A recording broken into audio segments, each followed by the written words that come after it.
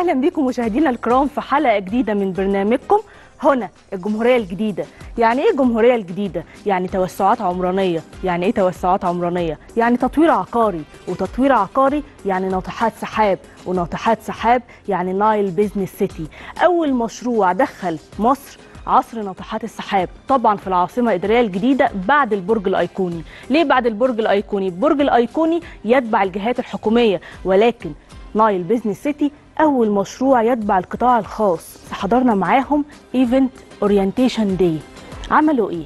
قدموا دعوة لجميع شركات التسويق العقاري اللي في السوق العقاري بالكامل وقرروا إن هم يشرحوا العاصمة الإدارية الجديدة ويشرحوا للناس اللي قاعدة ليه تقول للعميل بتاعك ياخد الوحدة دي في المشروع ده وليه ما ياخدش الوحدة دي. العميل يا جماعة لسه ما عندوش الخبرة الكافية إن هو يعرف إيه اللي يفيده في العاصمة الإدارية الجديدة. هل يستثمر فلوسه في وحدة سكنية ولا وحدة إدارية ولا وحدة فندقية ولا يختار الموقع قبل أي حاجة؟ محتاجين نوصل له المعلومة كاملة. عشان كده عملوا orientation day لأضخم مول في العاصمة الإدارية الجديدة وهو طبعا مول Nile City Center. مول Nile City Center أكبر وأضخم مول في العاصمة الإدارية الجديدة وتقريبا مش هيتكرر تاني. قرروا إن هم يعملوا event يشرحوا مميزات المشروع بالكامل عشان العميل يوصلوا المعلومة على أكمل وجه من ال broker اللي ممكن يبيع له الوحدة بس عملوا حاجة عجبتني قوي. مو صلاح العقارات كريم عابدين مدير القطاع التجاري في شركة الناي قرر إن هو يشرح للناس يعني إيه عاصمة إدارية إيه الطرق اللي توصلنا للعاصمة الإدارية الجديدة إيه المعالم اللي في العاصمة الإدارية الجديدة اللي أنا أروح آخد فيها وحدة عشان حجم الاستثمار بتاعي يزيد من خلال مرور الوقت. تعالوا بينا نسمع بلسان مو صلاح العقارات يعني إيه عاصمة إدارية. أول حاجة Business City العاصمة الإدارية. ليه أول مشروع كان في downtown ولما جينا ناخد مشروع تاني كان برضه في downtown. ناس قال لنا نوعوا محفظة. خد مشروع في downtown خد مشروع في CBD الحقيقة إحنا مؤمنين إن منطقة downtown هي منطقة واحدة مش هتتكرر من ثلاث مراحل جوه العاصمه الاداريه وبما إننا كلنا موجودين النهارده خبراء في مجال ال real estate عارفين إن أهم حاجة في الاستثمار هو الندرة. الندرة موجودة في العاصمة الإدارية مرة واحدة بس. downtown في العاصمة الإدارية هي downtown واحدة في الثلاث مراحل. ليه؟ خلينا ناخد الخريطة دي مثال للعاصمة الإدارية ونتفرج مع بعض. آه، آه، مواصلات. وإزاي العاصمة الإدارية مربوطة بكل جزء في مصر؟ يمكن كتير مننا بيتلخبط بين الفرق بين ال LRT بين المونوريل بين ال high speed train الحقيقة أنا بهتم في كل ال orientations بتتكلم عن الفرق بين الثلاثه الفرق بين الثلاثه فرق جوهري وبيورينا إزاي العاصمة الاداريه مربوطه بكل- شبر في مصر.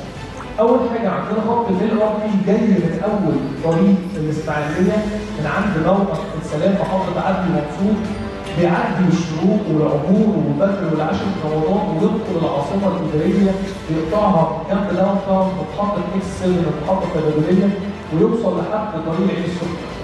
once الخط بيوصل لطريق العين السخنه بيرتبط بال high speed train اللي جاي من العين السخنة وبيوصل لحد العلمين مرورا بالجيزة والشيخ زايد واكتوبر وبيوصل لإسكندرية والعلمين ويكمل لحد مرسى مطروح.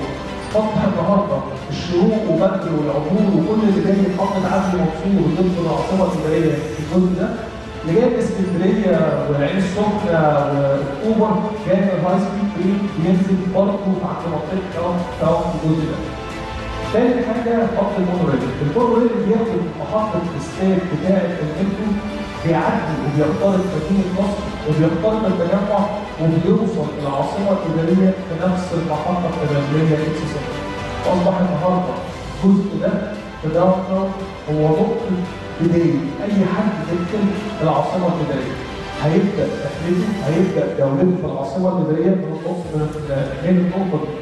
كان قدامنا إن إحنا ناخد أكتر من مشروع على مدخل من مداخل العاصمة الاداريه إنما لقينا إن عامل القدره مش هيتوقف ليه؟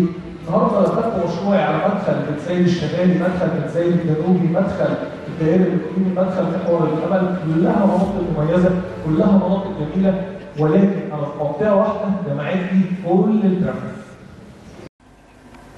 رجعنا لكم تاني بعد ما سمعنا من مو صلاح الخريطة بتاعة العاصمة الإدارية كلها. العاصمة الإدارية ليها أكتر من مدخل ليها أكتر من مكان مميز. طيب ليه downtown ليه وسط البلد؟ ليه حي الوزارات؟ ليه ساحة الشعب؟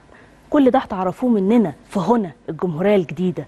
طيب أنا شخصيا بتسأل سؤال يا دكتورة أستثمر فلوسي في وحدة سكنية ولا وحدة إدارية ولا حتى وحدة فندقية؟ طيب أنا لو اتخيرت في مشروع عندي وحدة سكنية وواحدة إدارية أختار إيه؟ تعالوا بينا نسمع بقى من خبراء السوق العقاري برضو من مو صلاح العقارات. أستثمر إزاي وأستثمر إمتى وفين في الوحدة السكنية أو الوحدة الإدارية؟ تعالوا بينا نسمع. النهارده آه العاصمة الإدارية كل اللي جاي العاصمة الإدارية وكل اللي بيشتري في العاصمة الإدارية هدفه الأول بيكون استثمار أو نسبة كبيرة. الهدف منها استثمار. سواء بيشتري سكني أو بيشتري تجاري. طب إزاي النهارده العميل بتاع السكني أقنعه إن هو يشتري اداري؟ إحنا كمصريين متعودين إن أنا دايما عايز أستثمر في عقارات فبروح أشتري شقة. لا النهارده ببساطة خالص عملت لكم مثال خالص.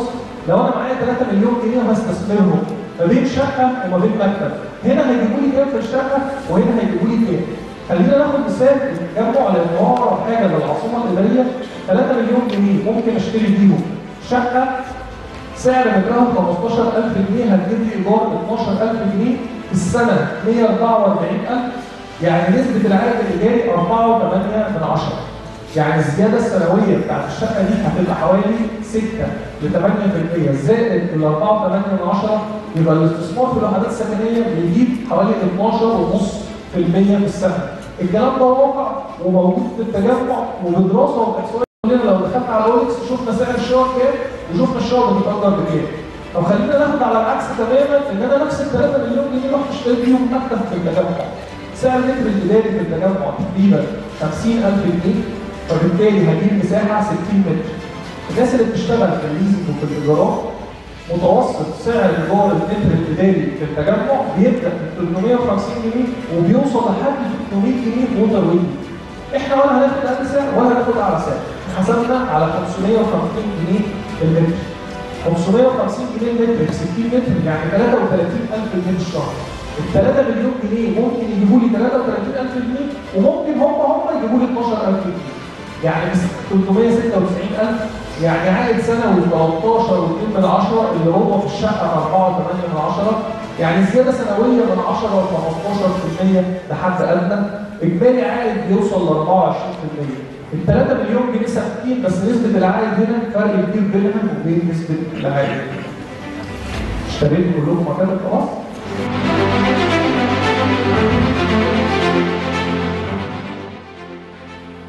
سمعنا من مو صلاح العقارات كريم عابدين إزاي أستثمر فلوسي؟ والوحدة السكنية العائد بتاعها الشهري والسنوي كام؟ والوحدة الإدارية العائد الشهري والسنوي بتاعها كام؟ طيب أنا بقى كمنى لو أنا اتخيرت ما بين الاثنين هختار إيه؟ هختار الوحدة الإدارية لو هدفي مش سكني هختار الوحدة الإدارية. ليه؟ ممكن الشركة تعمل معايا عقد أو بروتوكول هي تبقى مسؤولة عن بقى الإيجار عن بيع بكون واثق إن أنا حتى لو خارج البلاد هكون بحافظ على حجم استثماري اللي أنا عايزه يزيد بمرور الوقت. بصراحة لو جات لي فرصة إن يكون في وحدة فندقية هفكر فيها بلا شك. أعلى استثمار في العاصمة الإدارية الجديدة من وجهة نظري للأجانب للأجانب هي الوحدة الفندقية. أما لو أنت عايش أو مقيم في مصر وعايز تعمل مشروع في وحدة إدارية دي حاجة بتاعتك.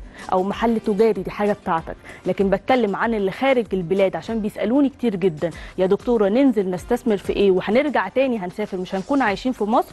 دايما بقول وحدة فندقية. الوحدة الفندقية ممكن تقدم لك شهر في السنة. أنت تستمتع بالوحدة بتاعتك وال11 شهر تأجرها لك.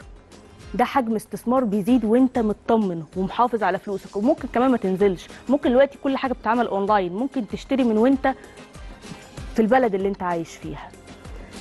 تعالوا بينا بقى نطلع فاصل ونرجع تاني. اوعوا تروحوا في أي حتة لسه مكملين. orientation دي لأضخم مول تجاري ترفيهي على النهر الأخضر مول نايل سيتي سنتر